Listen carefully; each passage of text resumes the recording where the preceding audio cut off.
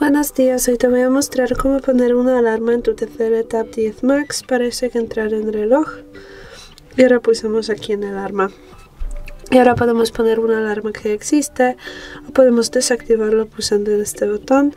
Además podemos pulsar en la cruz para crear una alarma nueva. Aquí elegimos la hora y los minutos.